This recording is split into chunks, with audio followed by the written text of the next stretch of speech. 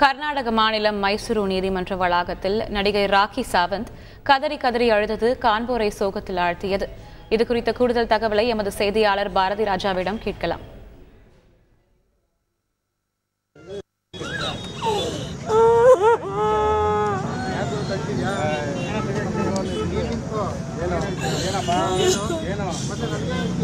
Disturb ಮಾಡ್ತಾ ಇದ್ದಾರೆ ನೀವು ಮತ್ತೆ ಮನೆಯಲ್ಲಿ ಏನಾರ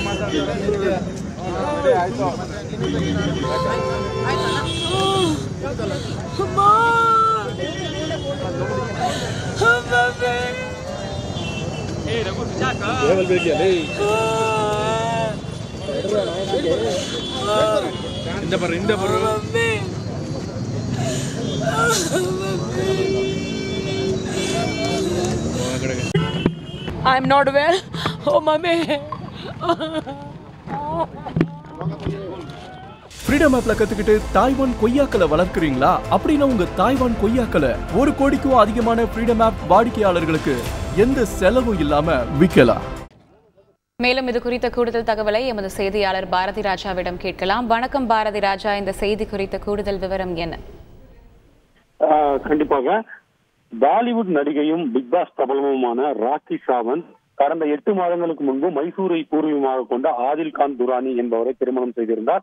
திருமணத்திற்கு பிறகு அவர் ந- தன்னை மோசடி செய்ததாக ஒரு குற்றச்சாட்டு தெரிவித்து மும்பை போலீசில் புகார் அளித்திருந்தார். இந்த வழக்கில் கைதாகி ஆதில் கான் சிறையில் இருந்த இந்த வேளையில் மைசூருவில் மருத்துவ படிப்பு படிப்பதற்காக வந்திருந்த ஒரு ஈரானிய மாணவியை திருமணம் செய்வதாக ஆசை வார்த்தை காட்டி பலாத்காரம் செய்ததாக அந்த மாணவி அளித்த புகாரின் பேரில் மைசூர் போலீசார் வழக்கு பதிவு செய்திருந்தனர்.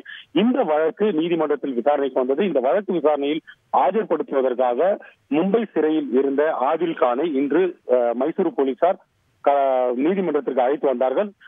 இந்த வேளையில் தான் நடிகை ராக்கி சாவந்தும் மைசூருக்கு வந்திருந்தார். ஏனென்றால் எப்படியாவது அவரது குடும்பத்தை நேரில் சந்தித்தார். ஆதில் கானின் குடும்பத்தை சந்தித்து அவரிடம் நீதி கேட்கலாம். தனக்கு நடந்த மோசடிக்கு இழப்பு இழப்பீடை வழங்க கேட்கலாம் என்ப என்ற ஒரு நோக்கத்தோடு இங்கு வந்திருந்தார். அதே போல பாதிக்கப்பட்ட ஈரானிய பெண்ணுக்கு ஆதரவாக தனது கரங்களை நீட்டவும் வந்திருந்ததாக அவர் தெரிவித்திருக்கிறார். இதற்காக வந்திருந்த போது ஆதில் கான் குடும்பத்தை அவர் தொடர்பு தொ- தொடர் தொலைபேசியில் தொடர்பு கொண்டு தான் மைசூர் வந்திருப்பதாகவும் தன்னை தயவு செய்து உங்கள் குடும்பத்துடன் சேர்த்துக் கொள்ளுங்கள் நீங்கள் எனக்கு நியாயம் வழங்குங்கள் என்று கேட்டபோது அவர்கள் கடுமையான வார்த்தைகளால் திட்டி நீ பிறப்பால் இன்று உன்னை எங்கள் குடும்பத்தில் சேர்த்துக் கொள்ள முடியாது என்ற ஒரு வார்த்தையை பயன்படுத்தி துரத்தி எறிந்ததாகவும் அவர் தெரிவித்திருக்கிறார். இந்த விவகாரத்தை தொடர்ந்து தனக்கு தான் மிகுந்த மன உளைச்சலுக்கு ஆளாகி இருப்பதாகவும் மைசூரு நீதிமன்றமும் அதே போல மும்பை நீதிமன்றம் மைசூரு போலீசார் எப்படி இந்த ஈரானிய பெண்ணுக்கு நீதி வழங்க வேண்டுமோ அதே போல தங்களுக்கும் நீதி வழங்க வேண்டும் எனக்கும் நீதி வழங்குங்கள் என்று கண்ணீர் விட்டு கதறியதார் இந்த காட்சி அங்கு பார்ப்பவர்களை மிகவும் சோகத்தில் ஆழ்த்தியது.